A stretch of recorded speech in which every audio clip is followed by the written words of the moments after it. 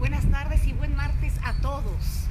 Martes de Mundana, son las 12 del día, hora en donde empezamos a recorrer todos estos pensamientos que nos han llevado a tener poco placer en la vida, para empezar a cuestionarnos y encontrar no una definición, sino una sensación de placer. Yo soy Ana Cerón y te doy la más cordial bienvenida y sobre todo una profunda gratitud, no solamente por acompañarme, sino por atreverte, ser uno de los que se atreven a cambiar el paradigma del placer, la sexualidad y el erotismo y en lugar de hacer de esto algo que nos aleje del placer, entrar en él.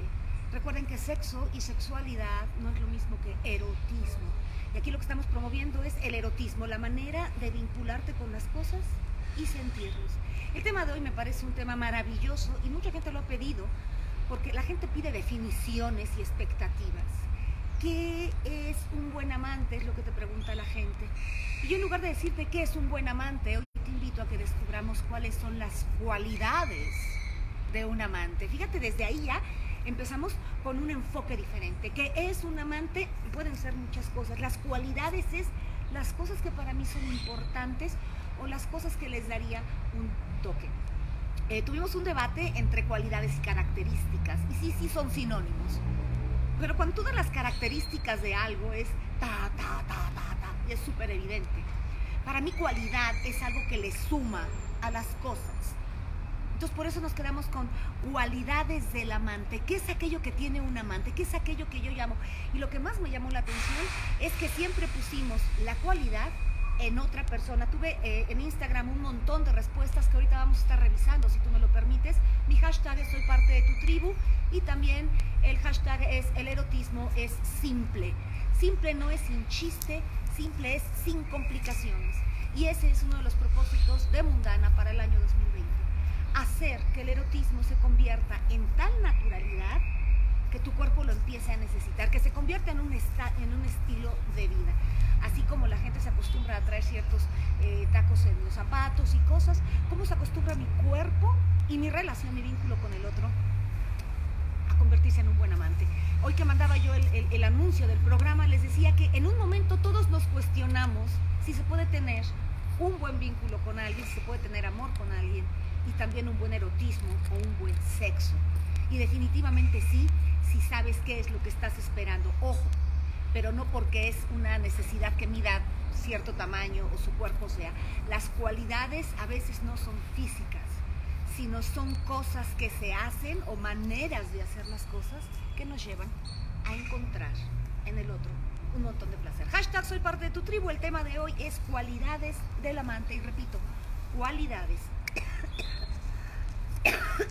Perdón. no características características. Las características las pone la sociedad, ¿no? Muchas veces oyes de cómo puede estar con alguien que no es tan bonita como él. ¿Sabes qué?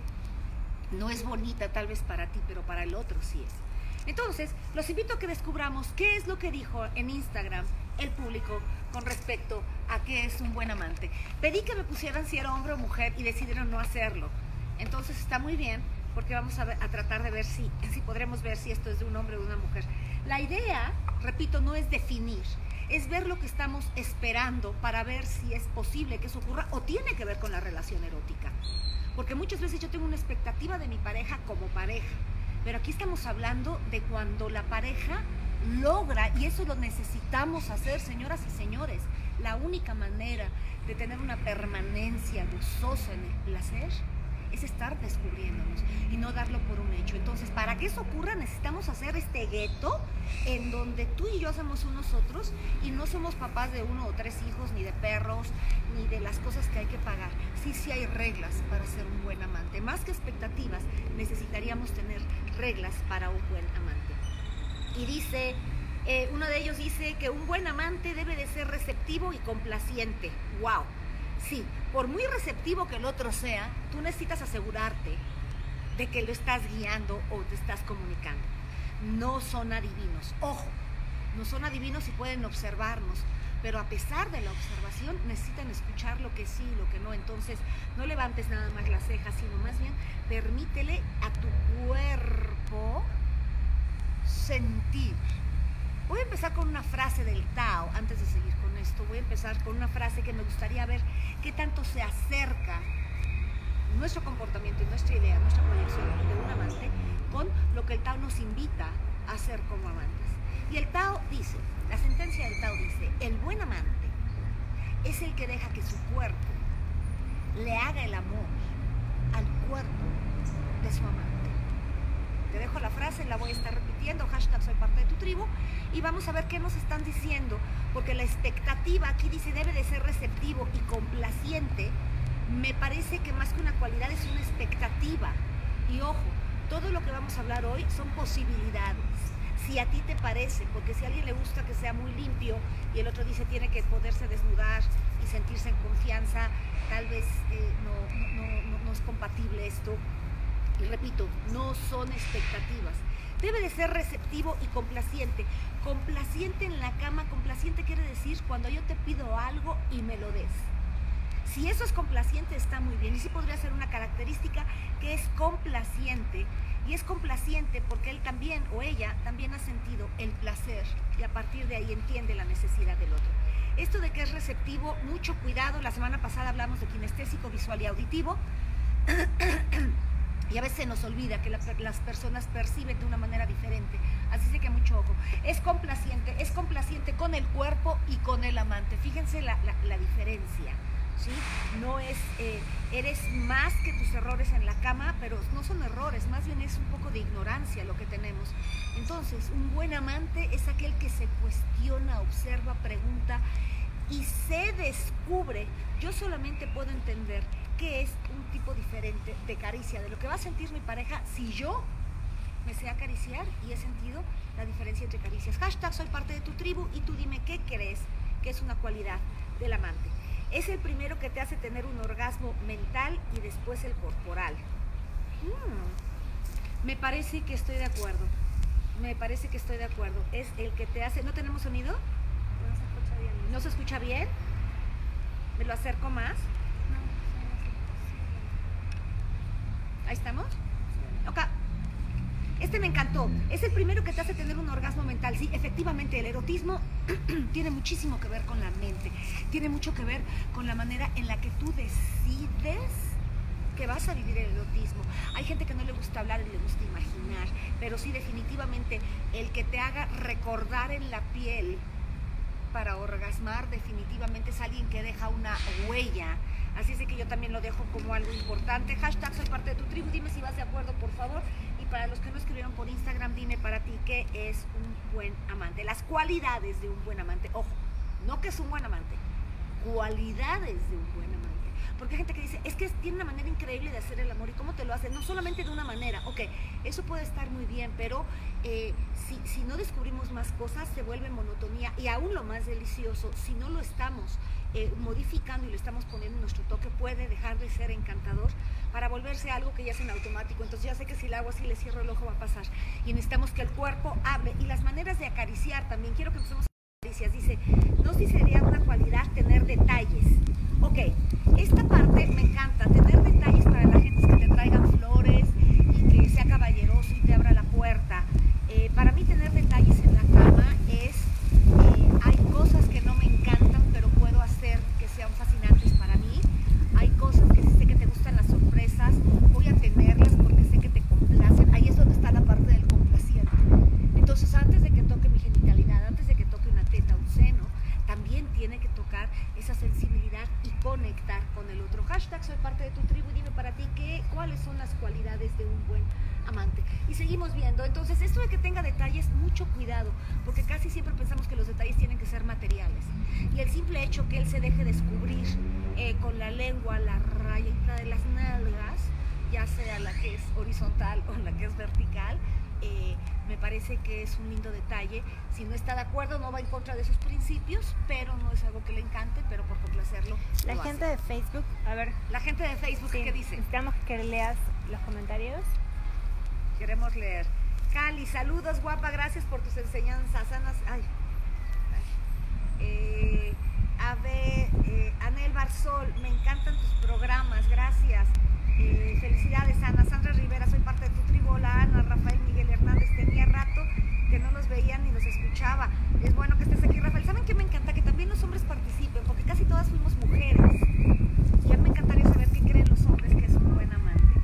Eh, Angelita, un buen amante es alguien que es sensible a las necesidades de su pareja, que disfrute también, que pueda aceptar o cuestionar los comentarios de la pareja, pero escuchar. Mm, a ver, voy a leerlo otra vez.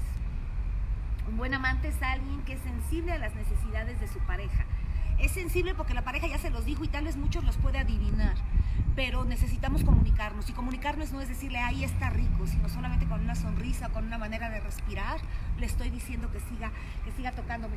Y hoy traje unas manos para que notemos la diferencia entre acariciar con una mano cerrada y una abierta. Vamos a hacer los ejercicios. Entonces Vangelis dice, un buen amante es alguien que es sensible a las necesidades de su pareja, que disfrute también que pueda aceptar o cuestionar los comentarios de la pareja, pero escuchar. Eh, sí, efectivamente, pero te repito, más que escuchar es escuchar al cuerpo, al cuerpo del amante. Me da gusto saber de ti, Vangelis, saber cuándo danzamos. Katia Silfran, hola Ana, ¿cómo saber si soy una buena amante? ¡Wow! Excelente pregunta. No es tanto qué tan buen amante es el otro, porque si tú eres una buena amante contigo, vas a poder enseñarle al otro lo que es un buen amante para ti. Porque para alguien un buen amante es quien llega puntual y bien bañadito. Para alguien más es llega no bañadito y me baña. Entonces, ¿qué es un buen amante para mí? Ahora, para ti, fíjate bien, si alguien me dice es que es malísimo en la cama porque no explora, la primera pregunta que yo hago es, ¿y tú exploras? Bueno, no es que es algo que le toca el rol de él. Ahí es donde empezamos a tener un problema. Entonces, si yo sé que soy una buena amante es porque soy curiosa porque yo soy curiosa con mi propio cuerpo, porque si yo ya lo probé, y se lo hago a mi pareja, y sé que no raspa, si me dice que raspa, la bocina no raspa, a ver, siente bien. Entonces es muy importante, un buen amante es alguien que se sabe dar placer y con base a la experiencia de su propia piel, empieza a compartir con el otro, se contacta con el otro. No me digan ustedes, por favor, no me digan que soy la que, de repente nos empiezan a besar y de alguna manera me tocan la cintura que empiezo yo a reaccionar y se empiezan a contactar. Por eso les decía que el Tao dice que el buen amante es el que deja que su cuerpo le haga el amor al cuerpo del otro. Ya no es tan pensado. Sí, la imaginación es muy importante para poder empezar a prepararme y para, y, para empezar a, a, crear ese encuentro sin que llegue el otro. Pero definitivamente es el contacto y lo que mi cuerpo va a estar reaccionando. Entonces, ¿cómo sé si soy una buena amante? Ve que tanto disfrutas darte placer y ver qué tanto disfruta el otro, porque para mí un gran, gran, gran provocador de orgasmos es ver cómo el otro o la otra están disfrutando. Saber que, que, tuve ese toque, saber que la lengua llegó de tal manera que electrizó en vez de lastimar, por supuesto que me pone en una posición de decir, ¡ja! Estuvo rico, ¿no? Y al saber que se puede hacer, también el, descubrir con mi pareja me lleva a subir los niveles de placer. Entonces se vuelve muy interesante. Un buen, un buen, un buen amante se deja guiar, pero no por las palabras, sino otra vez por la manera en que se, se, mueve el cuerpo. Yo quisiera leer un poquito más y ahorita les digo con los muñecos y seguimos leyendo también Instagram. Me encanta, me encanta, me encantan los, los, los, los comentarios. Entonces, por nunca, nunca te quedes sin darte cuenta qué tanto estás disfrutando dar placer, porque para mí ese es un buen amante está dando placer, pero está teniendo placer al tener placer y eso está delicioso. Entonces, eh, aquí tenemos en Instagram uno que dice genere comunicación, confianza y sensualidad. Bueno, eso ya soy súper. ¿Cómo lo haríamos? ¿Cómo haríamos que genere comunicación, confianza y sensualidad? Les voy a decir por qué. Perdón. Porque si me quedo en el que genere confianza, ¿qué es confianza? más bien que yo me sienta con la libertad. Es muy diferente saber que yo me puedo sentir con la libertad a tener la confianza, porque entonces estoy teniendo con el otro, estoy teniendo con el otro eh, una expectativa y aquí yo estoy creando con el otro. Y esa parte es muy importante. Si yo quiero que genere comunicación, confianza y sensualidad, yo tengo que tocar al otro, tengo que llegar con él y decirle, oye, ¿sabes qué? Y en la cama, ¿ya saben cuando acabamos con nuestro corazón? Que te estás riendo. Bueno, el darme cuenta la sonrisa que estoy teniendo otro, me puede hablar de qué, eh, compatibilidad tuvimos. ¿Cuántas veces no es necesario hablar, nada más la sonrisa así de, ah. No voy a poner adjetivos porque lo limitaría, pero dense cuenta cómo está la comunicación. Muy importante, si quieres saber si estás gozando o si ya tuviste un orgasmo realmente placentero, ve cómo los cuerpos se acercan. El buen amante les decía, observa, pero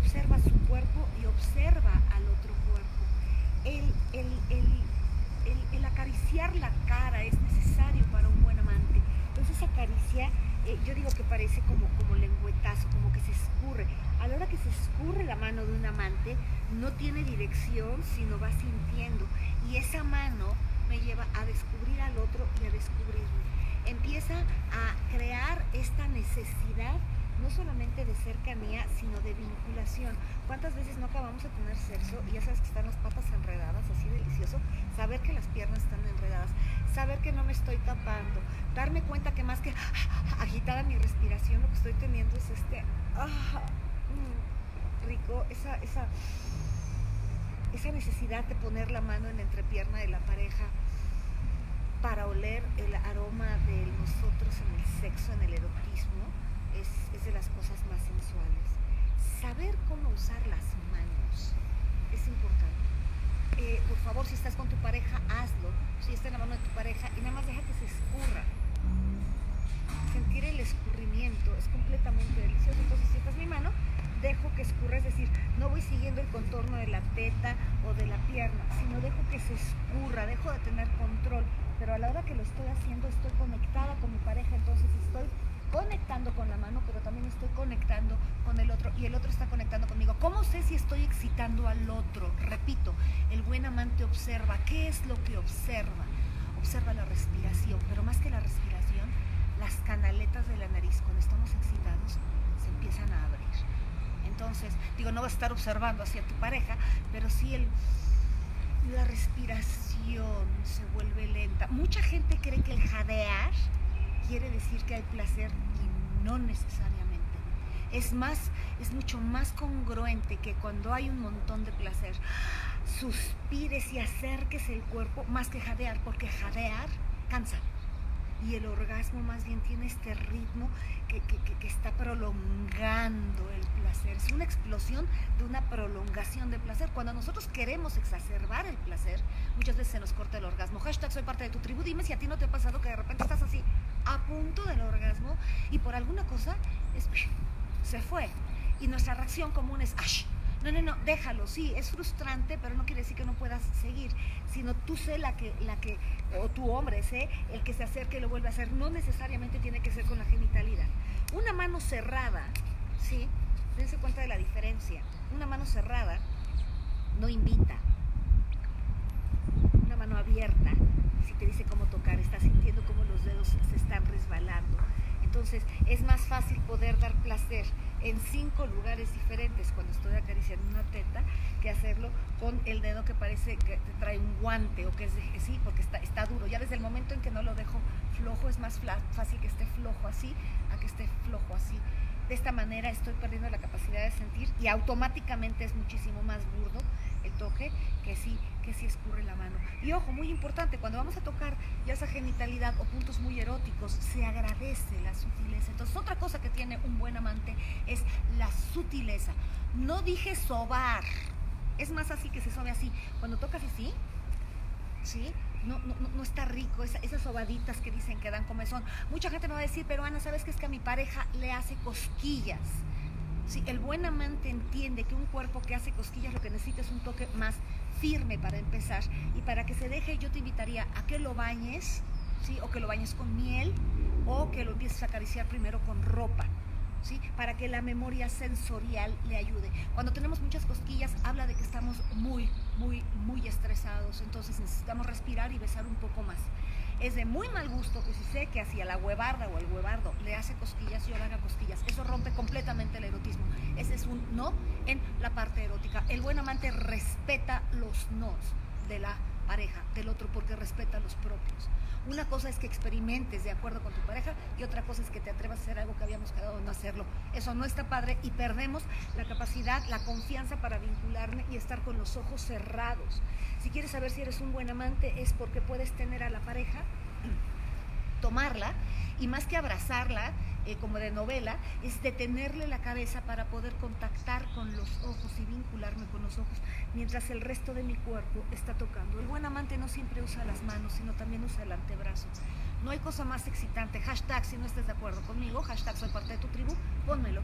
Si ya lo intentaron, porque hemos hablado de que el buen amante, cuando detiene la cabeza de su pareja, en lugar de tocar eh, ya sea los senos, el ombligo o el, pene o, vulva del otro, es poner en el monte de Venus y acaricia. Es un tipo de excitación delicioso porque no le da al útero, pero le da al monte de Venus, pero tiene conexión con el clítoris o con los testículos de ellos. Entonces es realmente interesante. Entonces, como ella decía, o él decía, eh, genera comunicación, confianza y sensualidad. De, a eso me refiero cuando hacemos este tipo de cosas. Cuando nos estamos permitiendo permitirle al otro, porque primero me que permitir a mí de decir hasta dónde, hasta dónde no. ¿Cómo poder yo señalarle a mi pareja porque no escucha y es visual? Esto me lo preguntaron la semana pasada en terapia, había uno de los programas y me dijeron, no, Yana, Huevardo es visual. Yo cuando le digo que sí o que no, a veces se le olvida o no escucha bien. Y ahí es cuando usamos los chocolates. Yo traigo un chocolate. Está mi bolsa de chocolate, no importa.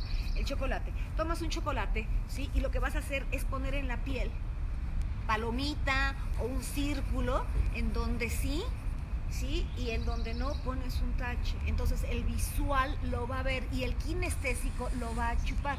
Solamente puedes chupar lo que es redondo. Entonces lo que estoy haciendo es acercarme al cuerpo del otro, dejando que el otro sienta confianza y yo atreviéndome a poseer este cuerpo, porque lo que hace el buen amante es poseer el cuerpo del otro. Lo posee porque empieza a tocarlo de tal manera que empieza a vincularse otra vez, ya no es con la cabeza ni lo que lo que estoy imaginando, sino empiezo a acariciar de una manera diferente y hagan de cuenta que el cuerpo se mueve de tal manera, ahí es, ahí es donde les digo que lo, de, lo que dice el Tao, el buen amante es el que sabe hacerle el cuerpo del amante, ya no son las cabezas, sino ya son los cuerpos que se acomodan. Es muy burda la comparación que voy a hacer, pero los que sabemos manejar coche estándar o bici de velocidades, eh, sabes cómo va, o sea, no lo tienes que pensar, sino ya es orgánico lo que va pasando. Y es exactamente lo que ocurre con un buen amante. Repito, son pequeñas acciones, pero son cualidades. El, el, el que pueda ser alguien observador, el que pueda ser alguien que tenga esa lentitud para sentir el cuerpo y vincularse con él, o estar tocando en dos lados y estar tocando el brazo, pero ya también estar tocando la entrepierna y darme cuenta cómo a la hora que yo toco la entrepierna, el brazo reacciona y el cuerpo se empieza a, arquear de una manera diferente. Y fíjate cómo a la hora que se arquea, se acerca y empieza el vínculo del beso y empiezan a tocarme. ¿Por qué? Porque tengo yo la para dejar al otro también tocarme mientras yo lo estoy tocando. Muy importante el día de hoy, no me voy a cansar de repetirlo, la posición de las manos en la caricia del buen amante es muy importante. Necesito las manos completamente abiertas.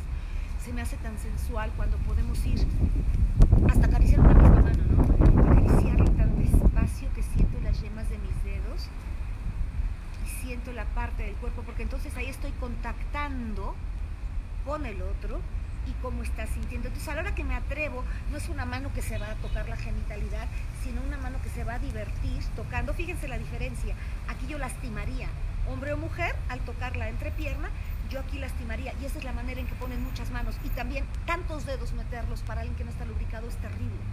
Entonces una mano ustedes creen que es fácil eh, o, es más cómodo, pero no, definitivamente una mano abierta y yo empezaría, eh, dependiendo de los labios vaginales o de, de, de la genitalidad de, del hombre, del, del, perineo de ambos, eh, yo empezaría con cualquiera de estos dos dedos. ¿Por qué? Porque son los que menos control tienen y menos fuerza. Entonces nunca voy a lastimar a mi pareja.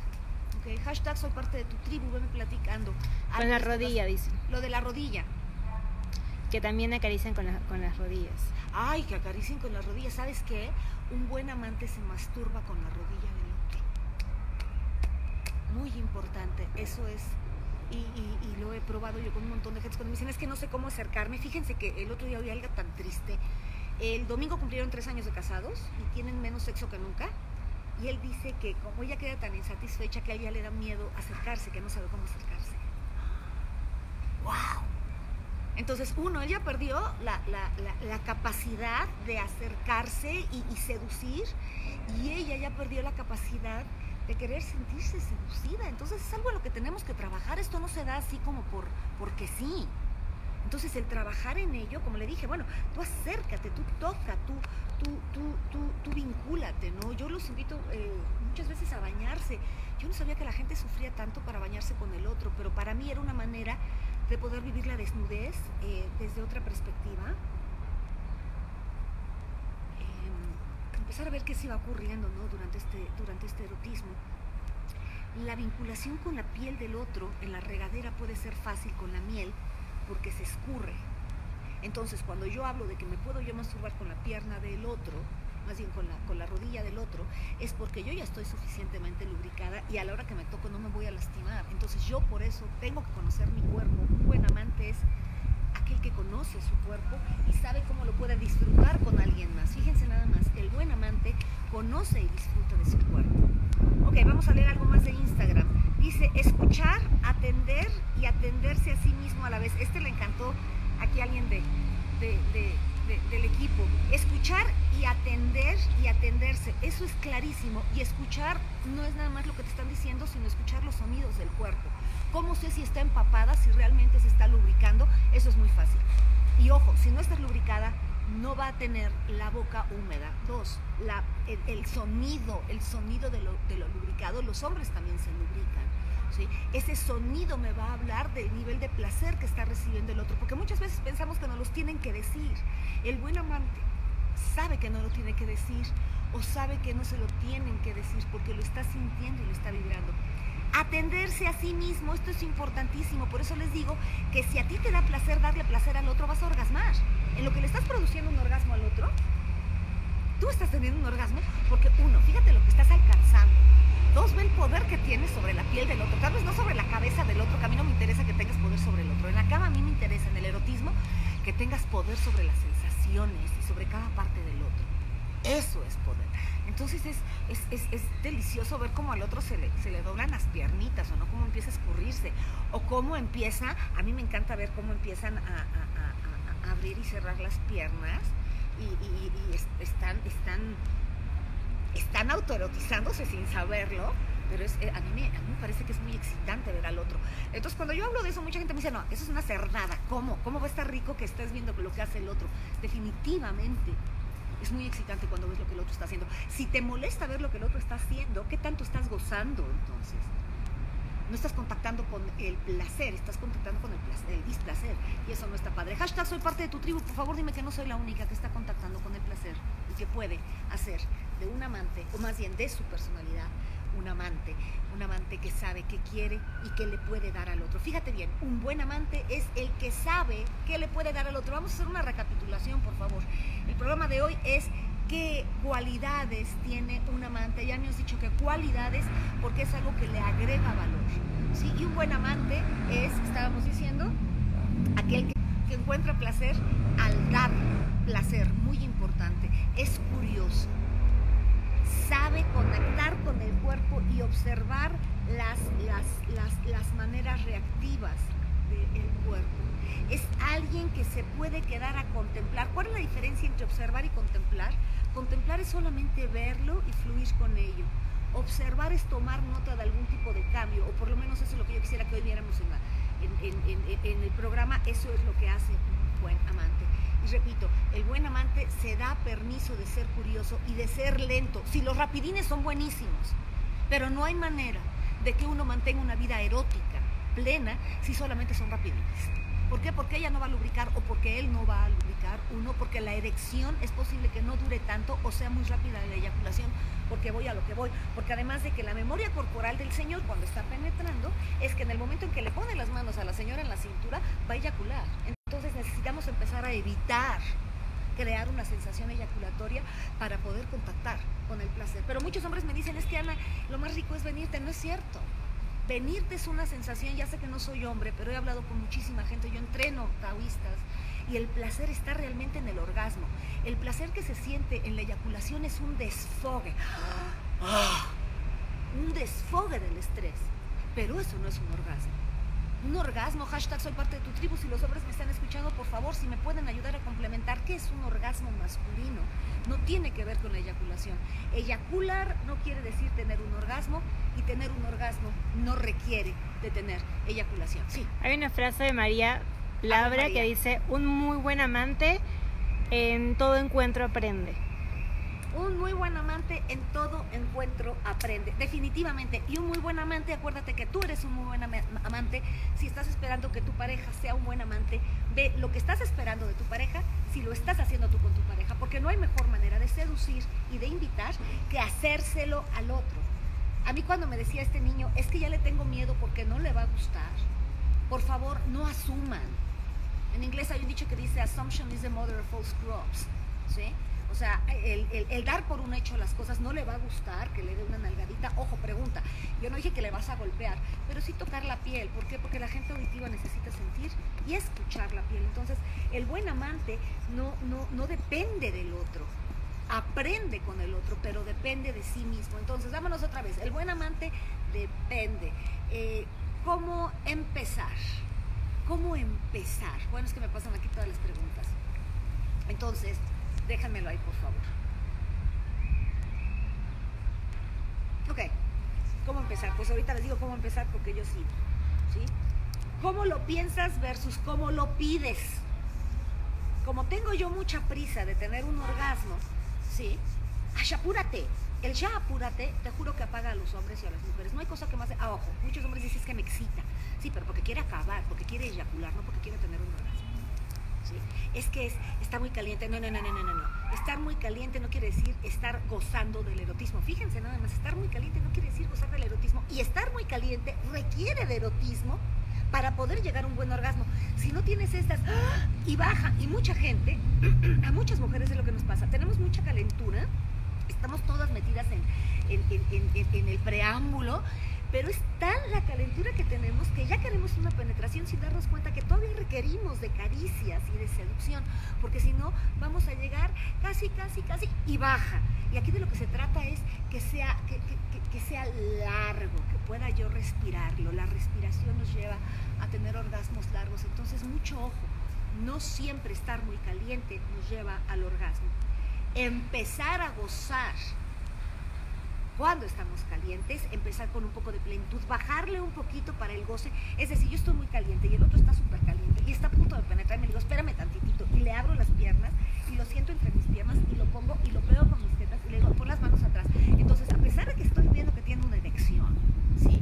O estoy viendo que, tiene una erección en las tetas, por ejemplo, yo estoy controlando. Entonces, el otro va a querer y no le estoy diciendo que no, no lo estoy rechazando, pero estoy, estoy dejando que el cuerpo, ojo, se siga vinculando me sigue poniendo las piernas, eh, se, sigue, se sigue, sigue acariciando. Entonces, si yo lo pido con la boca, es menos fácil que ocurra.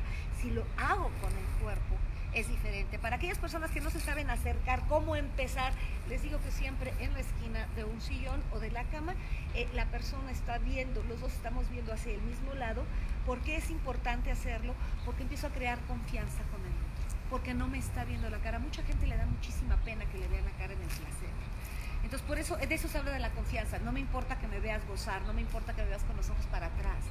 Me importa sentirte, ¿no? A las mujeres hay veces que eh, el toque con los senos en ciertas semanas no es tan agradable porque nos puede doler. Entonces, que nosotros toquemos la espalda de nuestros amantes, hombres o mujeres, y podamos darnos este pequeño masaje mientras le estamos dando el masaje y tocamos sus piernas. Estoy empezando a contactar con un montón de lugares sin tocar la genitalidad y yo me estoy atreviendo a jugar con mi prismo cuerpo y me estoy empezando a atrever a pegarle el cuerpo, porque comúnmente son los hombres los que nos pegan el cuerpo. Entonces, se me hace muy interesante que las mujeres peguemos también el cuerpo y les permitamos pegar el cuerpo. El otro día, en consulta, me encantó, porque estábamos hablando del erotismo, y ella me dice, y ella me dice que eh, que él es el que siempre empieza, ¿no? Entonces le dije, bueno, ¿por qué tú no empiezas? Y dices que luego, luego tiene una erección y yo no quiero que, me penetre. Entonces le dije, voltealo, voltealo y empieza a hacerle un masaje. Ojo, no dije te pongas la geisha, dije empieza a hacer un masaje, es decir, ten control, ¿sí? O sea, te está besando y demás, lo pones boca abajo, ¿sí? Y te sientas, ¿puedo, puedo, puedo, puedo, puedo hacerlo o, no se ve? No se va a ver. No se va a ver, ok, entonces, el, bueno. ¿El audio lo vas a...? No, voy, voy, voy a destruir el audio, aquí me van a regañar. Entonces, bueno, la semana que entra les enseño. Pero bueno, si él está boca abajo y yo le empiezo a dar un masaje, ¿puedo empezar con los pies? A ver, sí, se ve. Vale. ¿Sí, sí se ve? Entonces yo puedo empezar con los pies, pero ojo, vean cómo le empiezo a tocar la línea de las nalgas. Ojo, no le voy a poner el pie en las nalgas, pero sí le voy a empezar a acariciar. ¿sí? Luego me bajo, ¿sí? Y le toco el cuerpo un par de veces, me acuesto, lo beso, pero aquí la parte interesante es que yo me voy a sentar en su cox. Ese fue el sonido, Alan. Se fue, se fue el sonido. Sí. Me están diciendo que, que, que, sí lo puedo actuar y cuando lo actúo me dicen que le doy en la torre del sonido. Eso no es un buen amante. Entonces, pongo mi pubis en su sacro y eso lo que va a hacer, como hombre o como mujer, es que te empieza a excitar porque le empiezas a dar a la genitalidad, al monte de Venus, le empiezas a excitar, lo empiezas a mover. ¿okay? Entonces, si yo lo pongo y estoy autosatisfaciéndome y lo estoy acariciando, me dice ella que lo estaba acariciando, y de repente él se quiere voltear, ¿sí? Para pescarla y penetrarla. Y dice que cuando se voltea, el hueso de la cadera se lo clava a ella en el pubis. Entonces ella empieza a excitarse y empieza a cabalgar al hombre. Señoras y señores, no saben el encuentro erótico. Esta mujer se vino seis veces. Este hombre cuando lo estaba bien tapada. Tuvieron este encuentro y ya entonces vagina con pene, pubis con pubis, líquidos con líquidos, tetas con tetas, bocas con bocas. Entonces se convirtió en todo un placer. Pero el placer mayor que ella sentía no era solamente haber descubierto esto, sino tener el control. El control sin quitarle al otro o sin ponerlo vulnerable, sino tener el control porque sé lo que estoy haciendo. Entonces, ella desde el momento en que lo puso boca abajo, pone su pubis en el sacro, está gozando de tal manera que el otro se excita y luego que se voltea, les repito, fue con, con la cadera y ahí es donde ella cabalga y empieza a darse cuenta que ella le gusta también ser la parte activa. Por eso les decía yo la vez pasada que ni activo ni pasivo, sino proactivo y tener la apertura del otro, ¿no? Porque además él decía, no sé cómo hubiera sentido yo si lo hubieras hecho en la raya de las nalgas, pero en la, en la, en, la cadera como que no hay un paradigma social. Fíjense nada más, no hay un paradigma social. En el momento que no hay un paradigma social, el otro se deja, como ella tampoco tiene el paradigma social, empieza, ella lo dijo, a cabalgarlo y a sentir un poder, un poder total que después ella lo voltea y ella lo, ella lo, ella se monta en él, ¿no? Ella se penetra. Y ese es poder. Y la excitación de este hombre fue absoluta. Decía, porque yo no sabía que te sabías esas cosas. Y ella dice vuelta y dice, yo tampoco. Entonces ahí nos estamos descubriendo los dos. Un buen amante permite el placer del otro y al mismo tiempo se permite sentir el placer. Señoras y señores, esto, de esto se trata ser un buen amante. Receptivo, pero receptivo porque está viendo. Se da placer si un buen amante se da placer a sí mismo, es muy fácil que se pueda dar placer. Y mucha gente va a decir, no es cierto, Ana. Él solamente la mete y se pone a, eh, penetrarme y, darse placer solo. Ojo, si tu pareja nada más llega y se trepa y te penetra, es porque tú lo estás permitiendo. Necesitas empezar a hacerlo de una manera diferente. Y mucha gente me dice, Ana, pero ¿cómo le voy a enseñar? Me van a decir que dónde aprendí estas cosas. Pareja te pregunta en dónde lo aprendiste. Con mi terapeuta. ¿Cómo? Lo, aprendí con mi terapeuta. O también, eh, no importa tanto en dónde aprendiste las cosas, sino cómo las estés haciendo. Entonces, señores, por favor, señoras, no pregunten o no digan, ¿y ahora quién te enseñó estas cosas? Por favor, evitémonos parecer mamás, porque en el momento en que yo te estoy cuestionando de esa manera, dejo de ser el amante para ser la regañona. Y ser una amante también tiene que ver con la modulación de la voz. Cómo cuido y cómo seduzco. Y no quiere decir el mamacita. No, no, no, no, no. Es, es, es como pide mi cuerpo el placer. Te repito la frase del Tao, el buen amante es aquel que deja que su cuerpo le haga el amor al cuerpo del amante. Así es de que sé cómplice con tu cuerpo, sé cómplice con el cuerpo del otro y luego deja la complicidad de los cuerpos mientras tú disfrutas en esta hermosa investidura que tenemos llamada cuerpo, que tiene sensaciones por todos lados. Y te repito, también muy importante esta semana, el ver cómo utilizas las manos para acariciar. Eh, si tú, si tú, si tú, a, mí, a mí, ya sé que parece de novela, ¿no? Cuando, cuando te, cuando, cuando van recorriendo poco a poco, pero si te dejas de verdad, lugar de estar pensando, si dejas ver cómo se siente es increíble. Una mano abierta siempre va a dar mayor opción a tocar en diferentes lugares. A mí me parece que una mano cerrada puede ser muy peligrosa, sobre todo cuando estamos empezando a experimentar la sensualidad y la sexualidad. Yo te repito que el erotismo no tiene siempre que ver con sexo y el sexo no siempre tiene erotismo y aquí la cosa es complementar o por lo menos llegar al erotismo. Eh, hashtag soy parte de tu tribu, el erotismo es simple y dime, ¿a poco no te gustaría poder tener orgasmos sin todo esto de la penetración y demás? Si tenemos un poquito de honestidad, lo que queremos son orgasmos. y si nos podemos dar orgasmos, no siempre penetrando, y encontramos maneras de darnos orgasmos sin tener que tener sexo, yo te apuesto a que vas a empezar a gozar, no solamente del erotismo, sino de la otra persona. Y vas a vincularte de tal manera que de verdad vas a empezar a encontrar un espacio para tener a tu amante, tu pareja. Porque sí puede ser tu pareja, tu amante, siempre y cuando se den el espacio. ¿Y cuándo se van a dar el espacio? Cuando lo estén gozando y a mí me queda muy claro, yo en la terapia lo veo, cuando empiezan a gozar se dan tiempo y no es para ir al cine, ni es para ir a un hotel.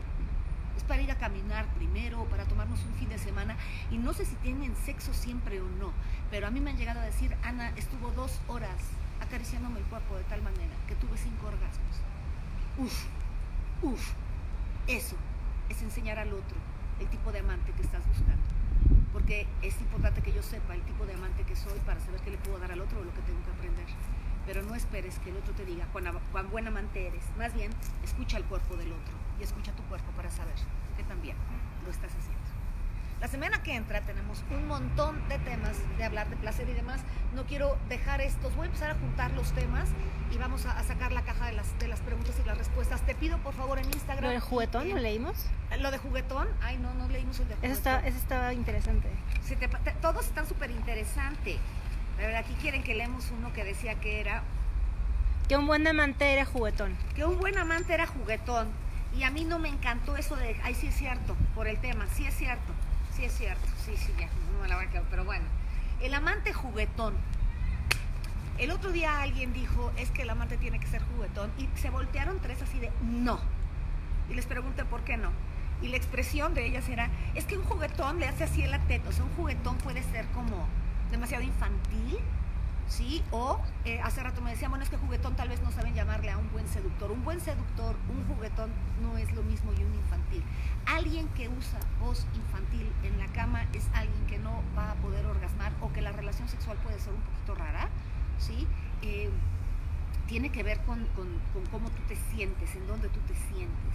Entonces mucho ojo en qué posición te pones como amante. No eres un niño chiquito, tienes que pedir lo que estás necesitando y sobre todo necesitas aprender a dejar a tu cuerpo sentir como el buen amante.